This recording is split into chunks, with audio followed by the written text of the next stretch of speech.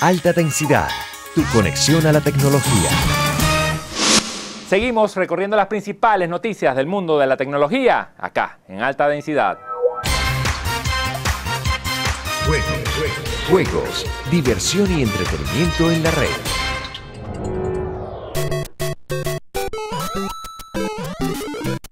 Mario Maker ya es oficial y llegará en 2015 para Wii U. Tal y como su nombre indica, este título será un editor de escenarios de Super Mario que permitirá crear todo tipo de niveles con infinidad de opciones, pudiendo elegir modo clásico inspirado en el Super Mario original o una interfaz más moderna similar a Super Mario U. Así, Mario Maker permitirá a los jugadores diseñar escenarios que incluirán desde los típicos muros y ladrillos hasta las famosas tuberías verdes. Todo esto se podrá hacer en el Gamepad de Wii U.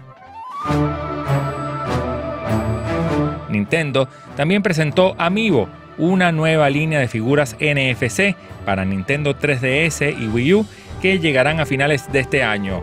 Al igual que Disney Infinity y Skylanders, los personajes de Amiibo cuentan con un chip integrado que reconocerá cualquier Wii U al tocarlos con el Gamepad.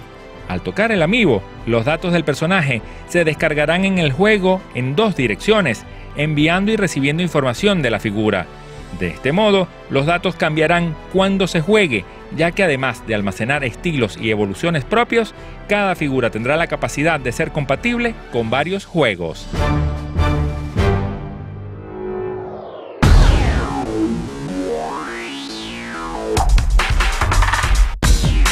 Sony confirmó la llegada de un nuevo dispositivo a Estados Unidos y Europa.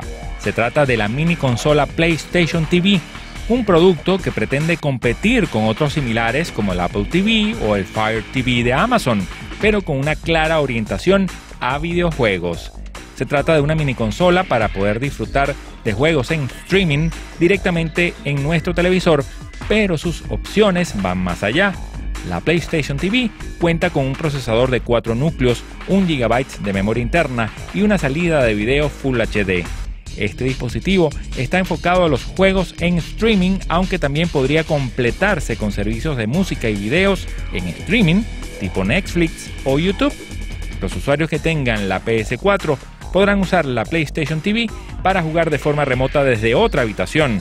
Es compatible con los controles DualShock 3 y DualShock 4 Además, permitirá jugar títulos de la PS3, aunque solo si han sido publicados en la nueva plataforma PlayStation Now.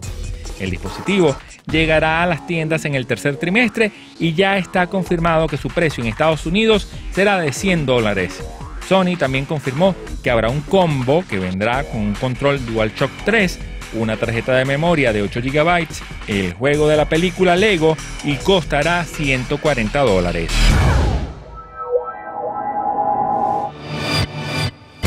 Microsoft anunció que puso a disposición del público los controladores necesarios para poder utilizar el mando de la Xbox One en una computadora reciente que ejecute el sistema operativo Windows. Estos drivers ya están disponibles para su descarga en dos versiones, dependiendo del sistema operativo que utilices.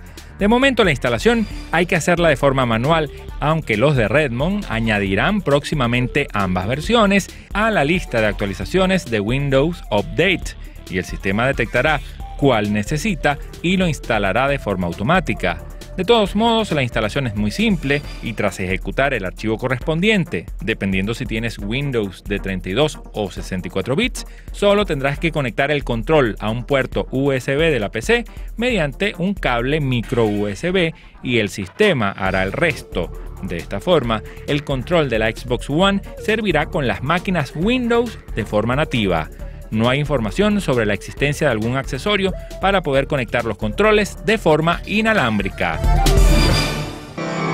Alta densidad es tecnología cuando quieras y donde quieras, porque llegamos a ti por las cuatro pantallas.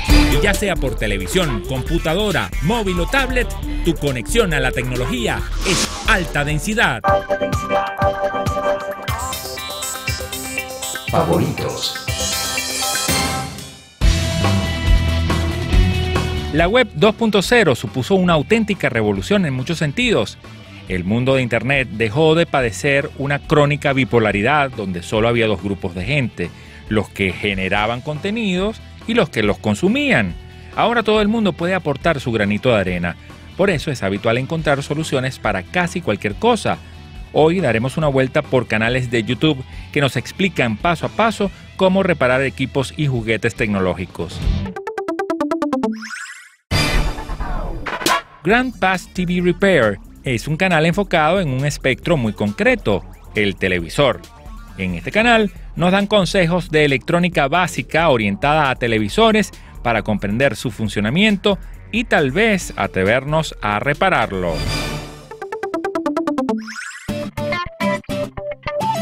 Go Cell Phone Repair si uno de los últimos smartphones del mercado o una tablet te ha dejado de funcionar correctamente o tras una caída al suelo tenemos su pantalla hecha a pedazos, en este canal podrás ver cómo repararlo.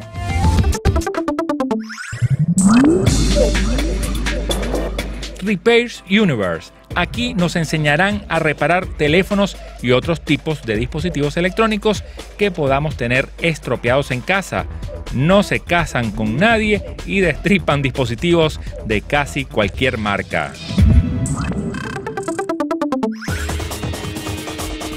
How to Repair. En casa tenemos más aparatos que solo teléfonos móviles y aquí podremos aprender cómo reparar neveras, hornos, microondas, lavadoras, aspiradoras y más.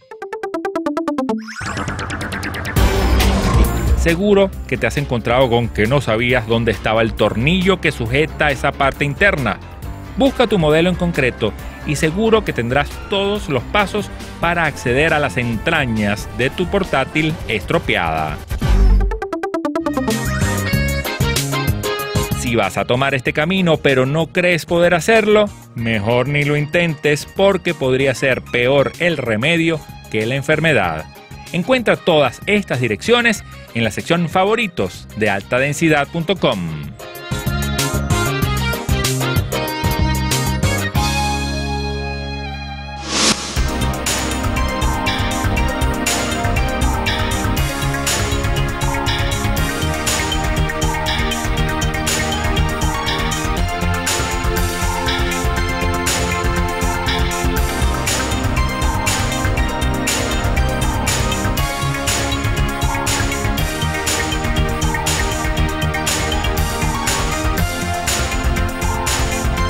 Así llegamos al final de este enlace, pero prepara tu disco duro porque la próxima semana tendremos más información de alta densidad.